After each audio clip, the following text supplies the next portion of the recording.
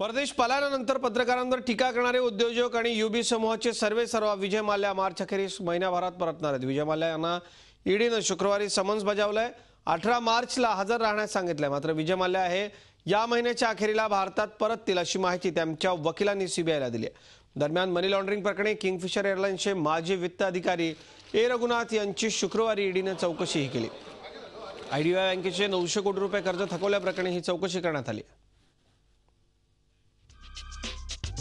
मद्यसम्राट विजय माल्या देशाबाहेर पळून गेल्याचा मुद्दा संसदेत चांगलाच गाजतोय. सत्ताधारी आणि विरोधक एकमेकांवर आरोप प्रत्यारोप करतायत. सरकारनं माल्या यांना देशाबाहेर पळून जाण्यात मदत केल्याचा आरोप विरोधकांनी केलाय.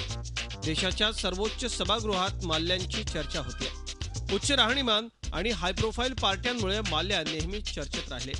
मात्र यावेळची चर्चा जरा वेगळी आहे. कर्जबाजारीपणामुळे माल्या चर्चेत आल्यात यशस्वी उद्योजक ते कर्जबाजारी असा प्रवास विजय माल्या यांनी केलाय.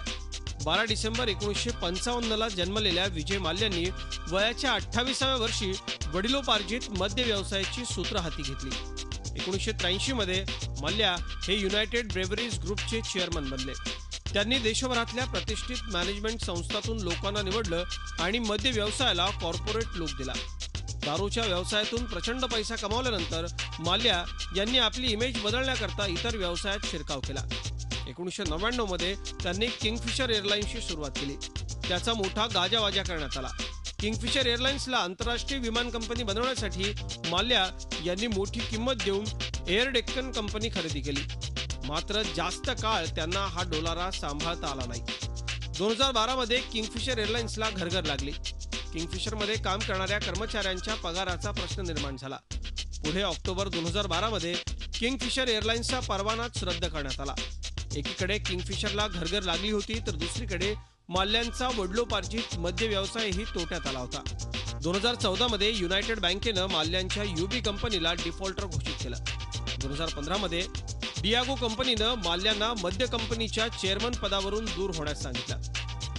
मध्य उद्योगातून प्रचंड पैसा कमवणारे माल्या आज बँकांसाठी नन परफॉर्मिंग असेट बनलेत.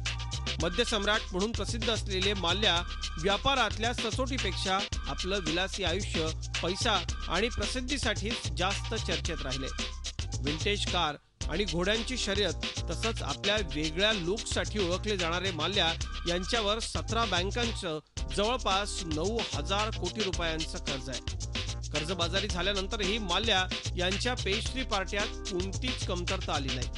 माल्यांचा मुद्दा संसदेत गाजत असल्यामुळे अखेर माल्या यांनी मौन सोडत सोशल मीडियावरून आपण व्यवसायानिमित्त देशाबाहेर गेल्याचं स्पष्ट केलंय. मात्र न्यायालयात त्यांच्या वतीनं कोणती बाजू मांडली जाते हे पाहणं औत्सुक्याचं ठरणार आहे. रामराजे शिंदे झी मीडिया नवी दिल्ली. झी चोवीस तास. रहा एक पाऊल पुढे.